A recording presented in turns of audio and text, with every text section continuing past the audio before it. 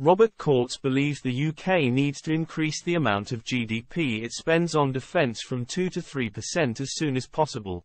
With two wars now raging in the Northern Hemisphere, Britain must increase military spending to keep pace with epoch-defining challenges, the chairman of Parliament's Defence Committee has warned. Robert Courts was speaking as Israel announced it had completely encircled Gaza City as it seeks to root out Hamas gunmen in the wake of the terror attacks of October 7.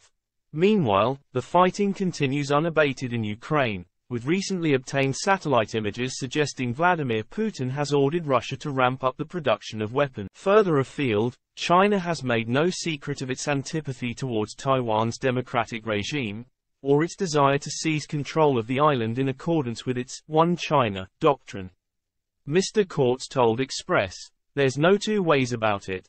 We are in the most challenging times we have seen as a country since World War II. We've seen the return of industrial, mechanized warfare on the continent of Europe, something that many people thought was left behind forever. And that makes clear that we are going to have to spend more on defense. The reality is that we just don't have sufficient. We face the very real prospect of peer conflict, we have real epoch-defining challenges in the face of China and Russia, and to meet those, we are going to have to spend more. The amount the nation should spend should be governed by the challenge faced rather than simply an arbitrary figure, Mr. Courts stressed. However, referring to the percentage of GDP the government allocates to defense spending, currently set at 2%, he added, Nonetheless, we should be moving towards 3% in